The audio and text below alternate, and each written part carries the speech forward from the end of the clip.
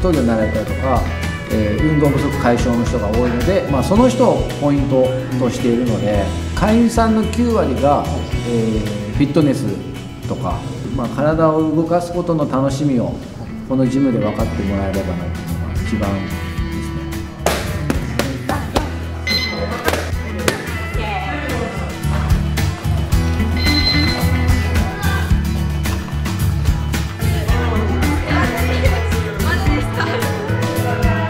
ダイエットしたい。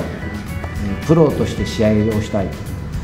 チャンピオンになりたい。それぞれの目標を達成できる場所にしたいなと思ってて。だからそれを助けるためにサポートするために僕だったり周りのトレーナーだったりから派生して事務生がいるのでこの会員さん同士が仲良くなって仲間として見てくれてこの人のために自分が動こうとか自分のために誰かが動いてくれるのを見て絆がどんどんどんどんできてきて今このジムがあると思うのでその流れは絶対崩したくないなと思って。1 2 3 4 5 6 7 8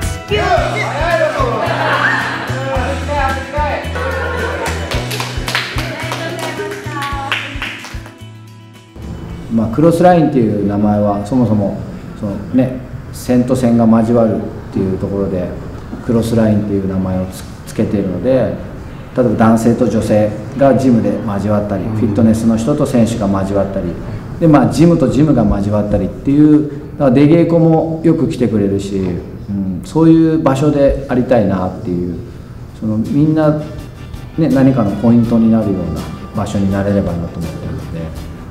今後もそれはどんどん続けていろんなジムとの交流を続けていくしこのジムの中でのその